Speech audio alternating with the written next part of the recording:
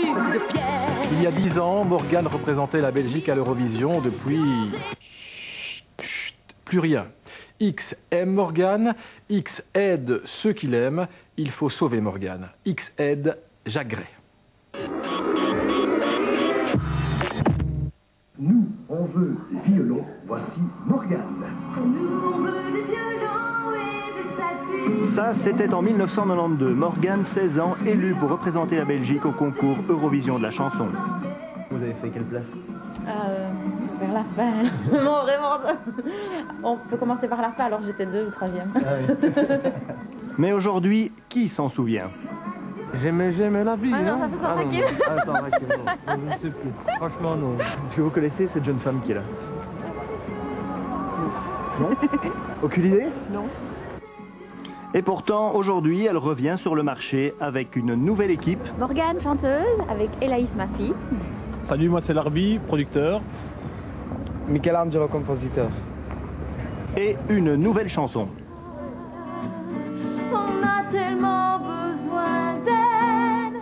Et quand c'est demandé si gentiment, X ne peut refuser un petit coup de pouce. Si je vous dis que c'est une chanteuse. Tu l'as dit tantôt. Ah, Dis-le. Morgane. Oui, Aucune idée. Morgane. Morgane, oui. Ah, oui, je vois. oui. Qu'est-ce qu'elle fait?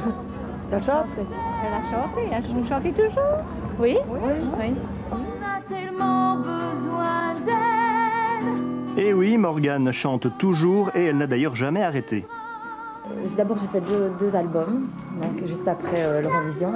Et j'ai continué à faire des spectacles en Belgique, euh, surtout dans la région de Mons, euh, Tournai, etc. Et son fan club se souvient même de ses plus anciennes chansons. Mes parents ne veulent pas que je sorte le soir. Mais ils sortent sans moi, sans moi qui ai peur du noir. On a tellement besoin. Je vais la voir à son premier concert et je me réjouis. Je forme des vœux pour elle, des vœux pour elle parce que c'est quelqu'un de très méritant. si quelqu'un mérite d'eux, c'est bien elle.